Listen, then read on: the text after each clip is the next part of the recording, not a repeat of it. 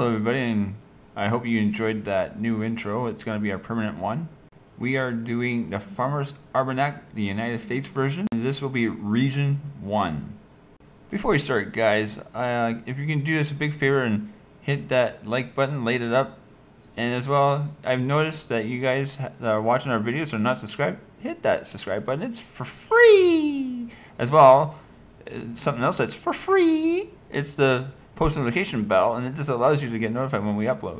Now, I know I am starting this a little late, as I've already had these books for two months, but I had to wait for everything to line up because the United States is a little off from the Canadian, and I want to try to make it all one, if that makes sense. So let's start off November for Region 1 of the United States. So for November the 23rd, slightly above normal temperatures and slightly below normal precipitation. Average temperatures should range from 44 to 49 at lower elevations. Coolest November the 2nd to the 4th, 10th to the 13th, 22nd, 23rd, and 27th to the 29th, warmest.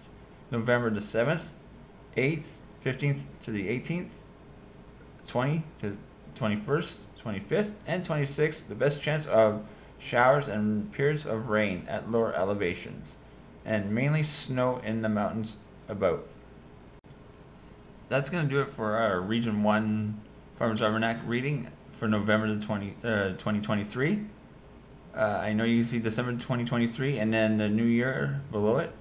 I'm going to do region by region for November 1st before I go through all the other ones just, just so it kind of drags it out for you guys, gives you more content. So if you, like I said at the beginning, if you liked it, make sure to light up that thumbs up button. And if you haven't subscribed, which I know half of you guys haven't that watch the videos, hit it. It's for free. Same with that post notification bell. And uh, yeah, until the next vlog, remember when it's cold, snowing, the wind is blowing. I guess this goes for us here in Canada, but anyways, whatever. Uh, get inside, have a coffee, a hot tea, a hot chocolate. And if you're old enough, a hot toddy, and a hot toddy doesn't necessarily have to be alcohol, guys. It can be honey and, what did you say? Honey and... Lemon and ginger. And lemon and ginger. So there you go. And uh, until the next vlog, bye!